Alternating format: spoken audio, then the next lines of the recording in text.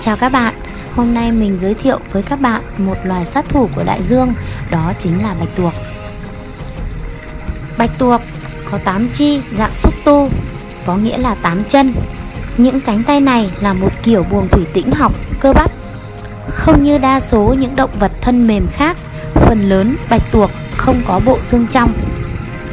Chúng không có vỏ ở bên ngoài bảo vệ như ốc hay bất kỳ vết tích nào của vỏ hoặc xương bên trong như mực biển hay mực ống. Một vật giống như mỏ vẹt là bộ phận cứng cáp duy nhất của bạch tuộc. Nó giúp loài bạch tuộc lên qua những kẽ đá ngầm khi chạy trốn kẻ thù. Những con bạch tuộc trong bộ Gririna có hai vây cá và một vỏ bên trong làm bớt đi khả năng chui vào những không gian nhỏ. Bạch tuộc có vòng đời tương đối ngắn, có loài chỉ sống được 6 tháng.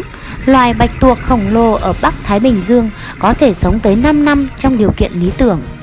Tuy nhiên, sinh sản là một trong những nguyên nhân gây ra sự ngắn ngủi ở vòng đời.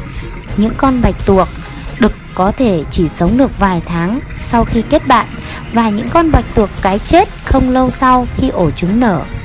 Bạch tuộc có đến 3 trái tim, hai trái tim bơm máu xuyên qua hai mang, trong khi trái tim thứ ba bơm máu đi khắp thân thể. Máu của bạch tuộc chứa đựng protein và giàu hemoxy. Máu của bạch tuộc chứa đựng protein và giàu hemocyanin chuyên chở oxy. Trí tuệ Bạch tuộc là động vật rất thông minh, có thể nói là thông minh hơn bất cứ một động vật thông mềm nào khác. Trí thông minh và khả năng học hỏi của bạch tuộc vẫn còn đang được các nhà sinh vật học tranh cãi. Các thí nghiệm về mê cung và cách giải quyết vấn đề đã chỉ ra rằng bạch tuộc có hệ thống trí nhớ, bao gồm cả trí nhớ ngắn hạn và dài hạn. Bạch tuộc con hầu như không học hỏi gì từ hành vi của bố mẹ và chúng có rất ít những liên hệ với bố mẹ. Trong một số thí nghiệm, bạch tuộc có thể được huấn luyện phân biệt những mẫu và hình dạng khác nhau.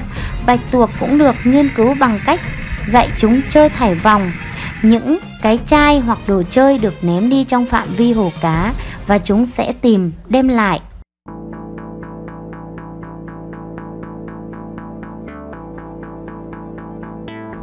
Bạch tuộc đôi khi phá vỡ bể của mình, nhảy qua cái khác để tìm thức ăn. Đôi khi chúng vào thuyền của những người đánh cá, mở nắp và tìm cua để ăn. Ở một số nước, bạch tuộc nằm trong danh sách những động vật thực nghiệm mà giải phẫu có thể không được thực hiện nếu không có sự gây mê. Ở Anh, những loài động vật thân mềm như bạch tuộc cũng được coi trọng và bảo vệ bằng pháp luật như những loài động vật có xương sống khác. Đôi khi bạch tuộc có thể ăn tua của nó trong khi bị kích động. Tuy nhiên, các nghiên cứu cho thấy nguyên nhân của hành vi bất thường này có thể là do một loại virus nào đó tấn công hệ thần kinh. Như vậy, hành vi này chính xác hơn là một sự mất trật tự thần kinh học. Tự vệ Ba cơ chế phòng thủ tiêu biểu của bạch tuộc là phun mực, ngụy trang và tự tháo bỏ tua.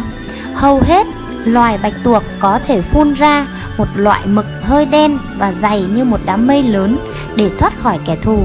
Thành phần chính của loại mực đó là melamin. Đó cũng là một hóa chất tạo nên màu tóc và da của con người. Loại mực này cũng làm át mùi giúp bạch tuộc dễ dàng lẩn trốn những loài thú ăn thịt khát máu như cá mập.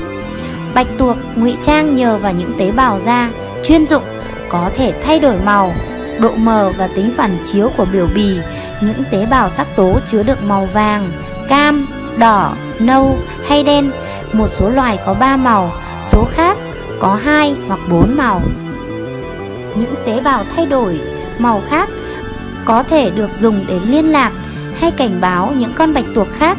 Loài bạch tuộc xanh có độc sẽ trở thành màu vàng sáng khi bị khiêu khích một số loài bạch tuộc có khả năng rời tua của nó khi bị tấn công giống như loài thằn lằn vậy. Những cái tua đã đánh rời và giúp đánh lạc hướng kẻ thù. Một số loài bạch tuộc như bạch tuộc mimic có cách phòng vệ thứ tư Chúng có thể biến đổi thân thể linh hoạt và màu sắc của mình giống như những con vật nguy hiểm hơn như rắn biển hay là lươn.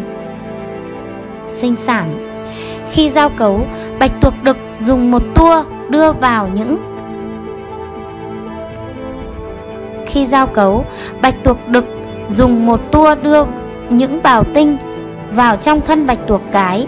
Tua giao cấu thường là tua thứ ba bên phải sẽ tách khỏi bạch tuộc đực trong thời gian giao cấu. Những con đực chết trong vòng vài tháng sau khi giao cấu, những con cái có thể giữ tinh dịch trong thân chúng cho đến khi trứng trưởng thành. Sau khi được thụ tinh, bạch tuộc cái đẻ khoảng 10.000 đến 70.000 trứng. Số lượng này tùy thuộc vào mỗi loại và mỗi cá nhân. Bạch tuộc mẹ chăm sóc dàn trứng, bảo vệ chúng khỏi những loài thú ăn thịt và thổi nước qua trứng để cung cấp oxy khoảng 5 tháng, tức là 160 ngày cho đến khi trứng nở. Bạch tuộc mẹ không ăn trong suốt thời gian trên. Sau khi trứng nở, bạch tuộc mẹ chết và những con bạch tuộc con còn là ấu trùng mất một thời gian trong đám sinh vật trôi nổi. Chúng ăn cua bể và ấu trùng sao biển cho tới khi chúng đủ lớn và chìm xuống đáy đại dương. Ở một số nơi sâu hơn, bạch tuộc con không trải qua quá trình này. Đây là một khoảng thời gian nguy hiểm cho những con bạch tuộc con vì chúng có thể bị những sinh vật khác ăn động vật trôi nổi tấn công. Giác quan. Bạch tuộc có thị lực rất tốt, đặc biệt là mắt bạch tuộc không cần dùng để phân biệt màu sắc, dù chúng có khả năng đó. Gắn liền với não là hai cơ quan đặc biệt gọi là những túi thăng bằng. Chúng giúp loài bạch tuộc định hướng thân thể Nó lúc nào cũng nằm ngang. Bạch tuộc cũng có một xúc giác tuyệt vời những giác hút của bạch tuộc có những thụ quan rất nhạy Tuy nhiên chúng có cảm giác bản thể rất yếu Chúng không thể xác định vị trí, thân thể hay các tua của mình Di chuyển Bạch tuộc di chuyển bằng cách bò hoặc bơi, nhưng cách di chuyển chính của chúng là bò, thỉnh thoảng mới bơi. Chúng chỉ di chuyển nhanh khi đói hoặc bị đe dọa. Khi đó, bạch tuộc lợi dụng sức đẩy của phản lực, lượng oxy trong máu bạch tuộc chỉ khoảng 4% nên sức chịu đựng của chúng khá kém.